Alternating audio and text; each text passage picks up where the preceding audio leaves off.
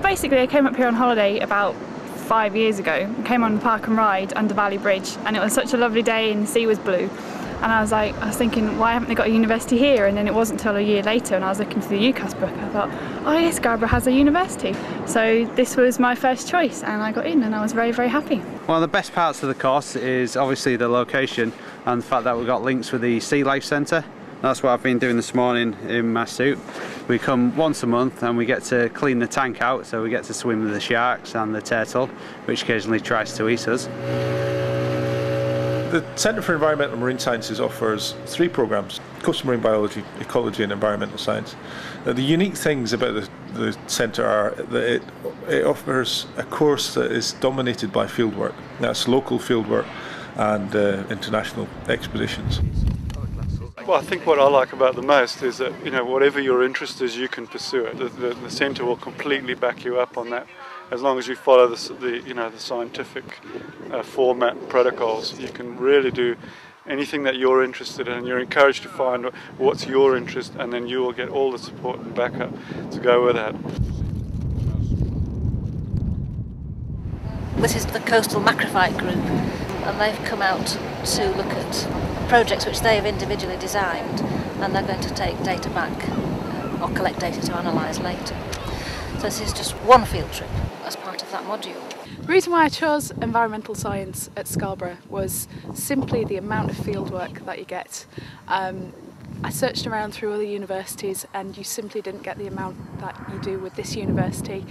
Less about uh, lectures, more about fieldwork. That's how environmental science should be taught. You really are uh, very, very close to the campus. I mean, just behind you guys, there's a massive forest over there where you can do lots of work.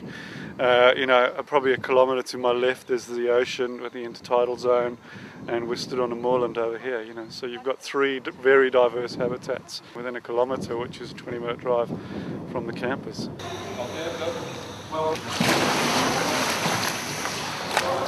We also have a, a heavy commitment to diving and, and, offering students at the centre an opportunity to learn to dive to professional standard.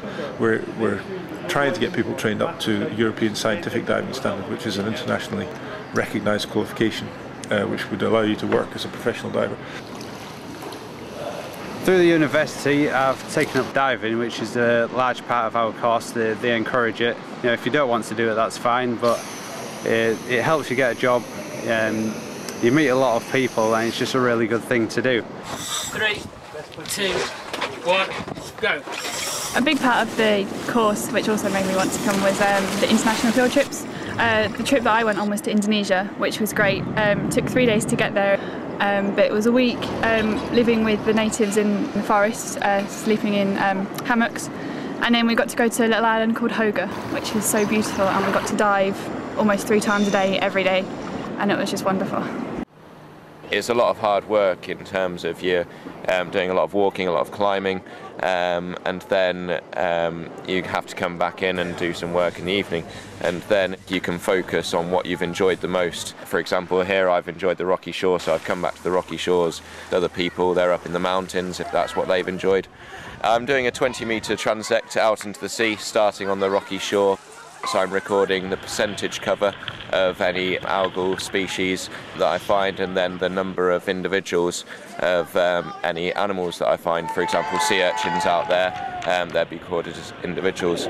Students that come to the centre can progress on from undergraduate degrees to do masters by research at, at Scarborough campus as well. And it, it's a wonderful place to study because it's it never has a cohort of more than 50 students. So everybody knows each other and we're all on first name terms and it's more of a partnership getting students from the first year through to the final year and then onto their, their master's course. And now I'm doing a postgrad, a master's by research because I don't want to leave because it's such a great place.